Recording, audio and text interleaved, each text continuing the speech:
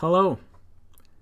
Spring has arrived, and in this part of the world, it means the end of the regular season of professional hockey.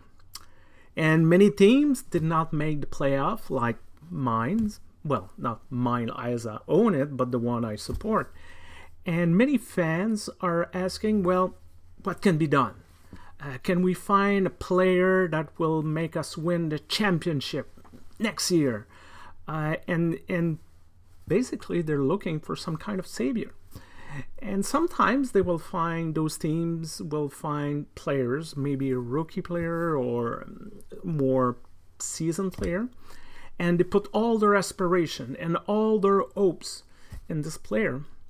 And when this player did not cannot fulfill all the hopes because let's face it, it's just a human being, well, people will start to critic and and maybe hate the person and call him a loser, a waste of money, a waste of time, and they will begin to look for a next savior.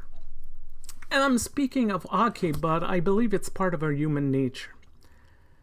Too often we'll look for quick and simple solutions to our problems.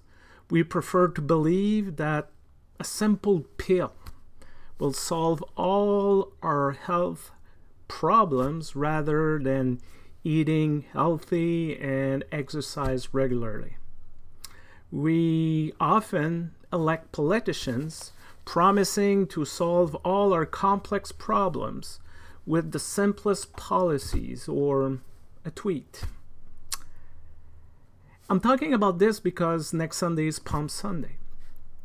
It's the story of the triumphant entry of Jesus into Jerusalem.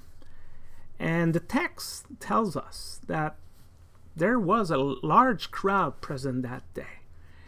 And, and the people were very enthusiastic. They were ready to follow Jesus everywhere. He was their guy. He was the one who was solving, solving all he, he was the one coming in the name of the Lord. And according to scripture, that display of high emotion lasted a few days, a week, and we know the rest of the story. Jesus got arrested, he died, and many of us, probably as the disciple, wondering what happened? How can they turn on him so rapidly? Well, Jesus, according once again to scripture, was a great miracle worker. His message was fairly simple, if we may, but it was not necessarily easy.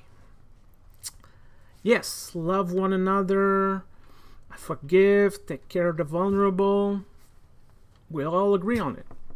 But Jesus says, I'm not going to do it for you. You have to do it. You have to put an effort. And maybe that's why the crowd kind of left Jesus. Because it was not as easy that maybe they thought. It made me think of a, a cartoon. Maybe you saw it you know, a, a speaker in front of a crowd and said, Who want change? And everyone said, Me, me, me. Who's to do that change and implement that change? That's often our reaction. We want the savior, we want the easy solution.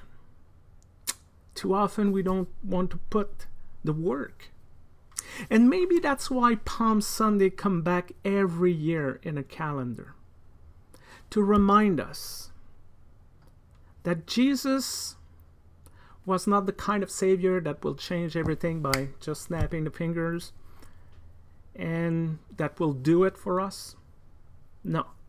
After the initial excite, excite, ex, initial emotional reaction, we need to put the effort we need to work on it. We need to take our own responsibility to, to change and improve this world. That's how things change. It's the message of maybe one man, but the work of all of us. Once again, thank you for watching. I remain the lectionary man, Reverend Stéphane Vermette. And until next time, take care of yourself and bye bye.